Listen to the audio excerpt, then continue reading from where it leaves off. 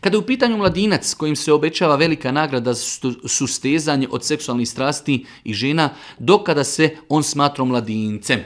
Znači pitanje, pošto imamo u hadisma Božih poslanika da su o mladincima koji se strpe i pazi i čuvaju svoju čednost i moralnost, obećane su im određene nagrade, šta se misli pod pojmom e, o mladinac?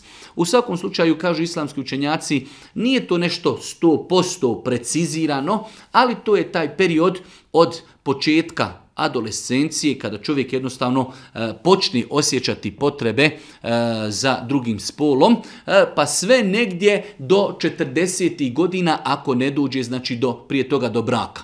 E, jer Allah Đelšanu u Kur'anu kada spominje e, znači godine spominje da čovjek nakon 40. godina ulazi u godine zrelosti. Pa su na osnovu tog ajeta kuranskog islamski učenjaci kazali da period mladosti znači počinje od perioda adolescencije, ranog, znači puberteta, pa sve negdje do 40. godina, iako bilo učenjaka koji su kazali da period mladosti prestaje prije 40. Neki su kazali i nakon 40. da traji, ali neka, Allah najbolje zna sredina je da čovjek znači u islamu se smatra u snazi, u mladinac, sve do nekih 40 godina, svakako ako se radi o osobi koja, koja još nije stupila u brak.